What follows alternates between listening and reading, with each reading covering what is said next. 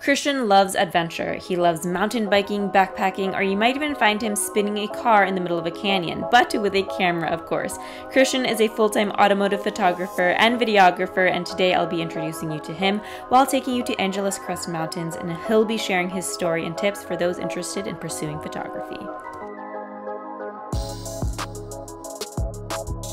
I am super excited to introduce you to him today. He actually happens to be my other apartment mate and we'll be heading to the mountains in his Miata. If you are new here, my name is Isabel and this is Global Dream Team, a channel where I'll be documenting my journey of building a global community where I'll be meeting up with passion seekers, whether they're creatives or entrepreneurs, to share their story and tips to inspire you to also pursue something you're passionate about and go after your dreams. In each video, I'll also be taking you on some kind of adventure, so if that is something that interests you, then please make sure to subscribe to join the Global Dream Team community here. All right, so I am ready to meet up with Christian. Are you ready? Let's go.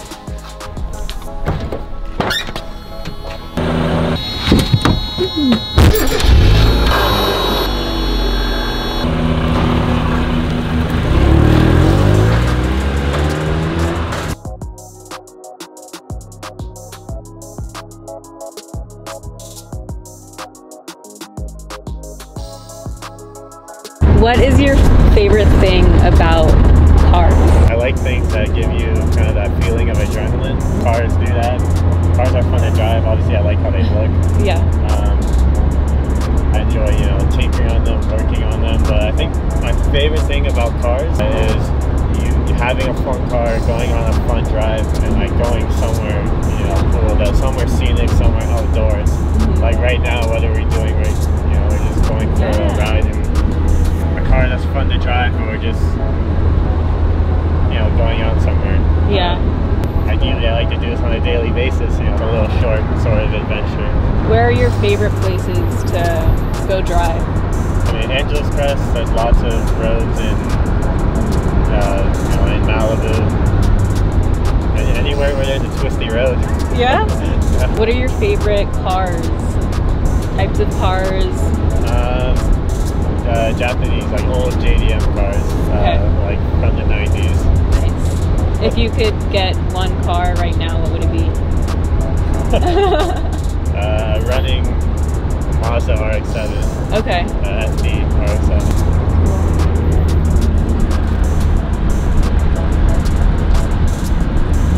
What do you normally do like on the weekends? Edit and take pictures, Edit, take photos, but that's like 24/7. 24-7. Yeah. Comes home from work, edits more, but he loves it. What do you love the most about what you do, or even like the editing process? Uh, Which and which part do you like better, taking the photos or editing? it's all part of the same process for me. But my favorite thing yeah. about it is just going to a cool place, or ideally a new place every time.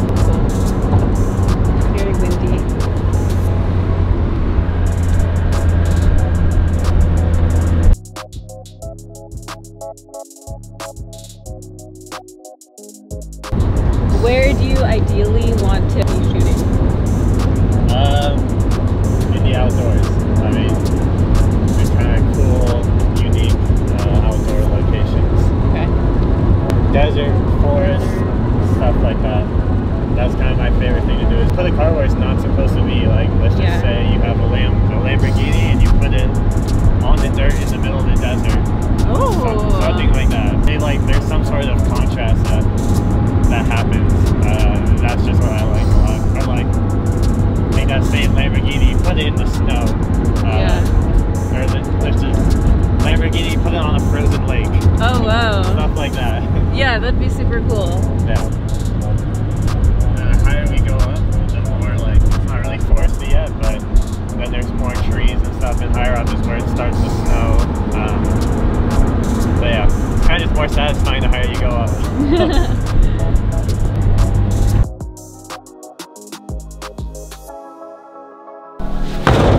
Right, we just got here to Angeles Crest.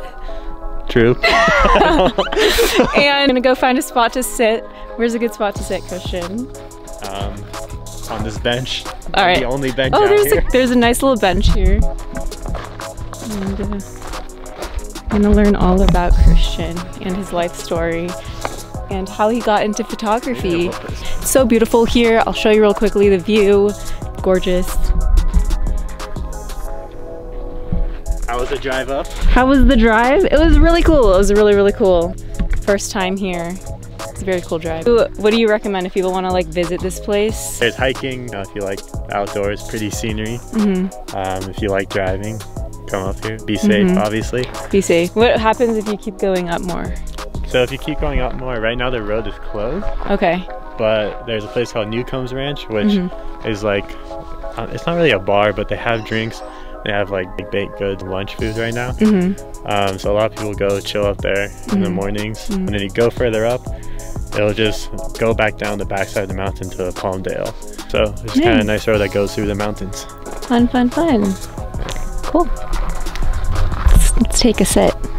Let's take a sit. Let's take a sit. so, Christian, tell us a little bit about yourself. Um, your background, your story. I am a photographer, specifically right now an automotive photographer.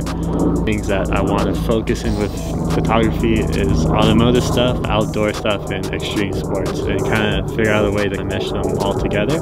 What I do right now is mainly car stuff, so that's kind of why we are out here in Angeles Crest. It's a popular place to you know come drive your car. We're here at Golden Hour. Most of the times when I'm out here, this is kind of exactly the time that I'm here. is the best time to shoot cars, especially when it's like a little cloudy like this. The lighting's kind of going now, but you know it's just a very photogenic place. You know, just take pictures of your cars without really being bothered. Or was it always car photography?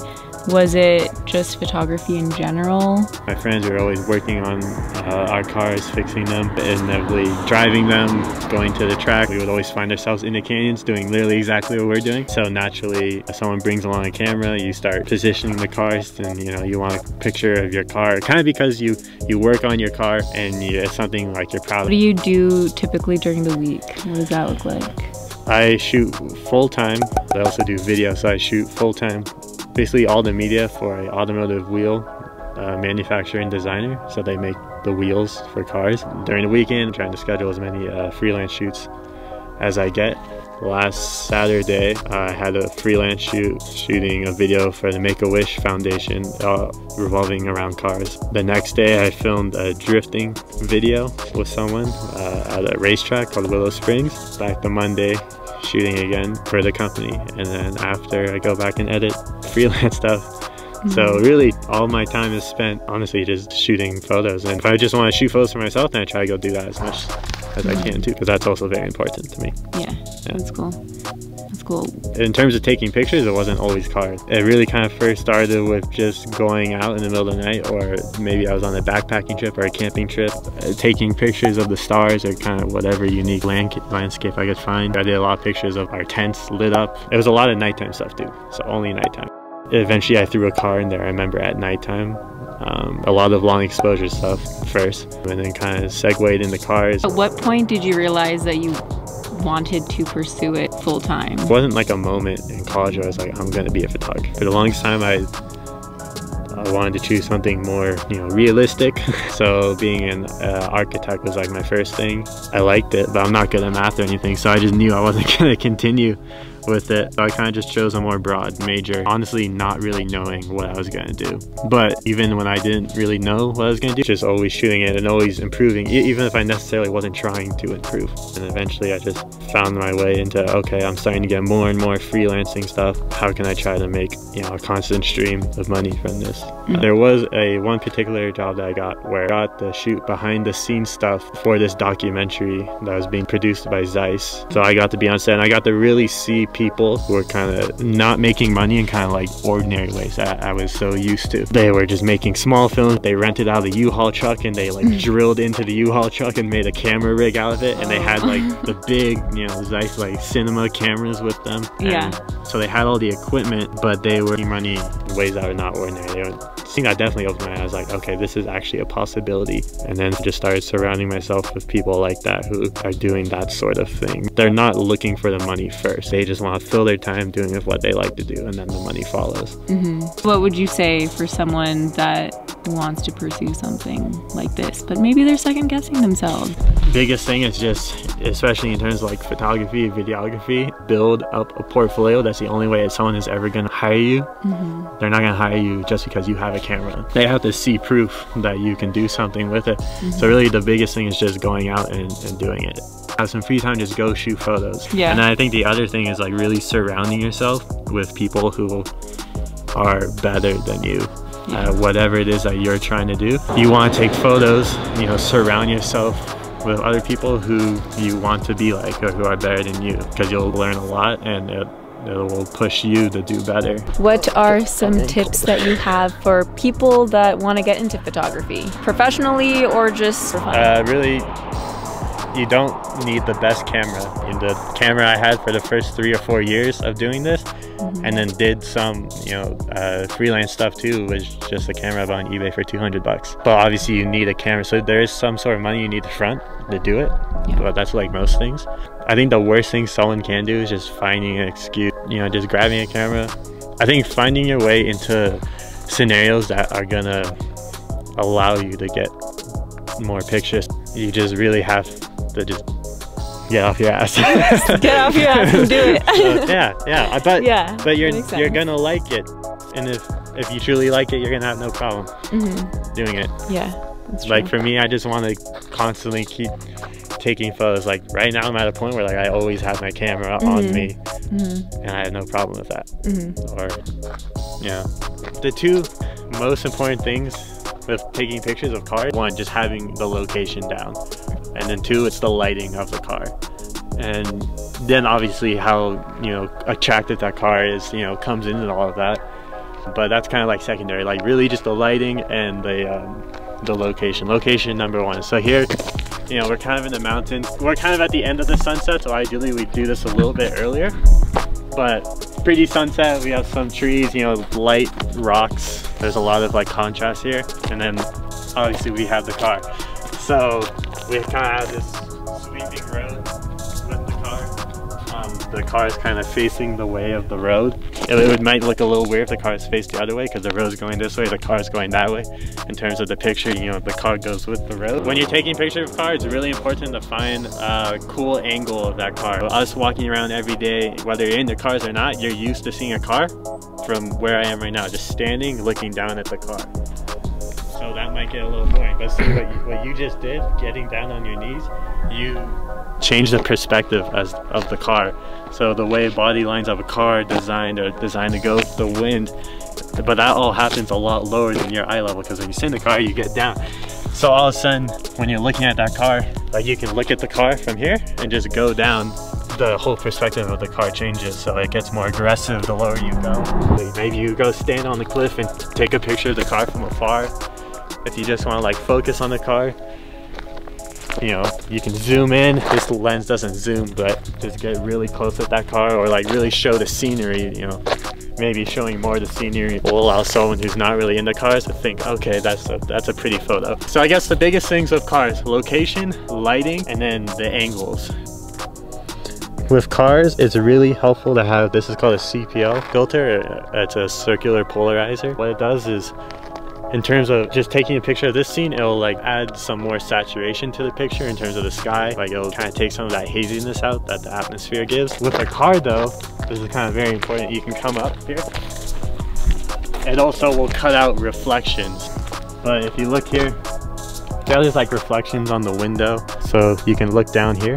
When I turn this, see how it takes the reflections out of the window and like mm. the top of the car.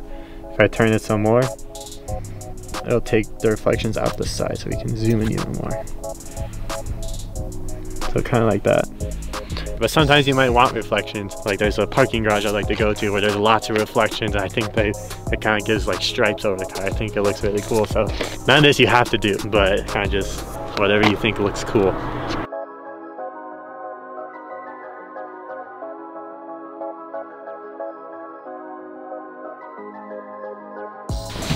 Alright guys, that is it for this video. I hope that you enjoyed it. I hope you learned a little bit about Christian, learned a little bit about photography, and hopefully it inspired you to also pursue something that you're passionate about and to go out and go explore. So I will leave all of Christian's links in the description below if you want to reach out to him, check out some of his work, request for some of his photography. He's super talented. And let me know if you want to see him in another video. If you are a dreamer and doer and you have a story to share with me, then let me know in the link in the description so I can share your story in a video next. If you like this video, please give it a thumbs up, subscribe if you haven't yet, and comment below letting me know what is something that you want to pursue but you haven't gotten started yet. Alright guys, I'll see you in the next video. Bye!